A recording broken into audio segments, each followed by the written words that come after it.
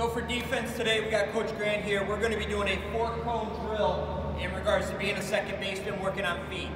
So the four cones, you can see I got a target up on the wall over there. That's just going to give them some sort of uh, visual to turn, release, and make the throw. That's second base, that's the shortstop, whatever it may be. These four cones all indicate a specific movement. The first cone is just a routine double play ball at double play depth we're fielding it, staying low, working on our feed, nice and easy to the uh, middle infielder. The second cone is we're going to cut around it just a little bit, cut around the ball, and then we're going to get our momentum into a two-step feed towards the second base.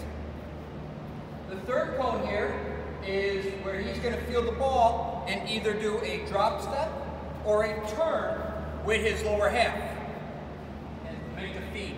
The blue cone is a ball that it really kind of depends who's on base what the situation is. It's a play where he's going to go to his left, field the ball almost in the hole, plant, turn, and spin, and make that throw. Okay, so it really all depends on the situation, who you're playing, who your middle infield is. I understand that. Typically, that's a ball that we probably just end up going to first base with since our momentum's taking us there, but it's creating athleticism, uh, which is what we want in our athletes.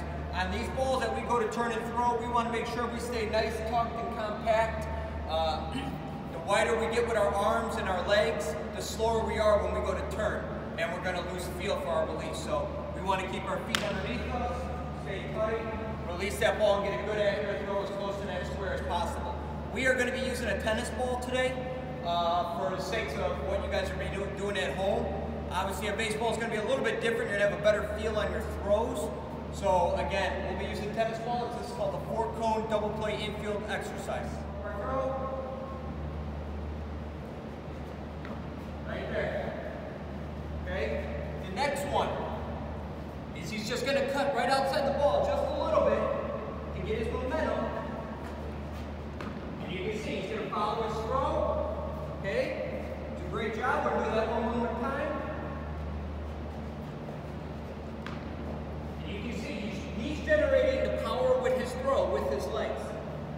The next one, this is going to be a jump or a drop uh, your back foot throw. So we'll do both ways.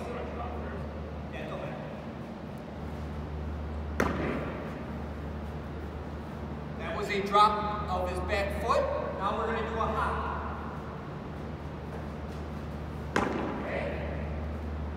As you can see, that one's really a preference exercise. It's something that whatever you feel most comfortable with is what you're going to go with.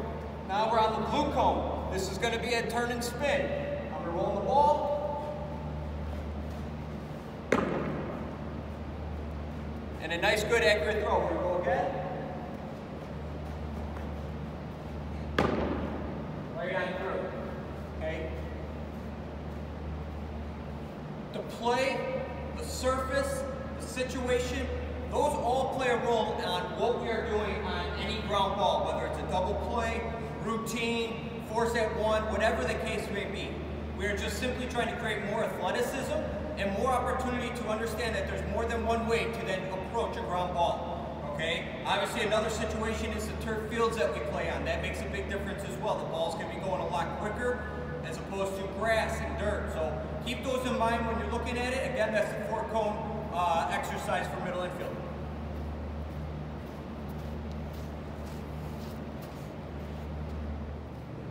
This next exercise we're going to be doing, you're going to need a much bigger distance. We call this the Nolan Arenado throw. It's just an exercise to get comfortable with throwing at a, uh, an un unorthodox arm angle and throwing it over a greater distance. Again, creating athleticism, just trying to get comfortable from understanding that every throw is not going to be from the same traditional arm slot. So what we have, we have Coach Grant here. We're going to demonstrate it as righty and lefty. So Coach Grant is here. He's going to demonstrate as a righty. We're simply just going to start on our knees okay? And we're going to just simulate fielding a ground ball and throwing it from underneath. Uh, down at the very end, we got a, a bunch of variety of different targets. Obviously, at home, I know it's going to be a different situation. We're going to aim for specific targets when we go to throw the ball. That's our first baseman, our middle infield, whatever the case may be. So we're taking the lower half out of it and strictly just working on our shoulder turns, tilts, and making good, accurate throws. Okay, so Coach Grant, demonstrate. Coach Grant's going for the bottom blue circle there. We'll kind of just go all the way around. Okay? Go for the yellow now.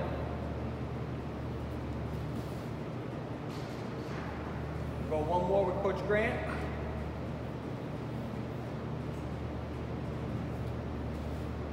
Okay. There's a bottom purple down over there. So now I'll demonstrate as a lefty. Again, even though it's targeted for, Guess, more middle infielders, court, uh, third baseman, it's an exercise that we all need to get comfortable with. Understanding whether it's outfield, first base, whatever the situation may be. I'm here. I'll start picking out both that yellow circle at the middle row here. Not even close. Here.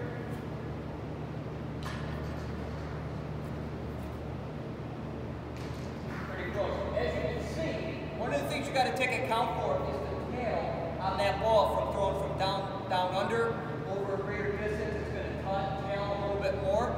All right. Obviously, I get it when you're on the major league field, 60, 90s. It's going to be different where you know you've got to gauge that depending on who's over uh, playing those positions. Also understand that also means the first baseman has to know who's playing those positions and who's playing first base when you're going to throw the ball.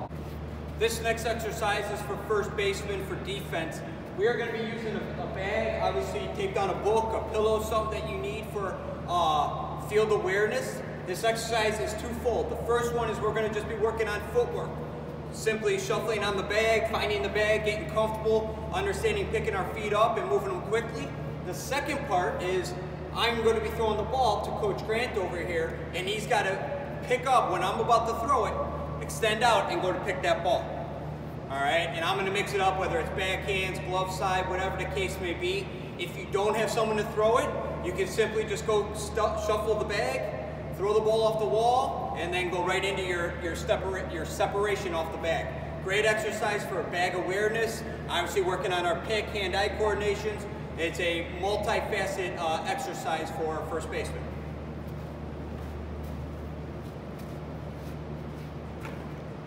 All right, so Coach Grant's going to begin shuffling. I'm going to, okay? As you can see, I'm trying to be, sneaky when I go to throw the ball for him to be quicker with finding that bag and getting off uh, on the throws. Okay, to go again.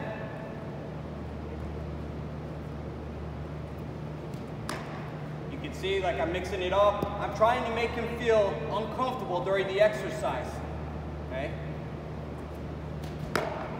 As you can see, he's working on those backhands. You can see his eyes and nose are staying behind his glove when he goes to pick it. Okay?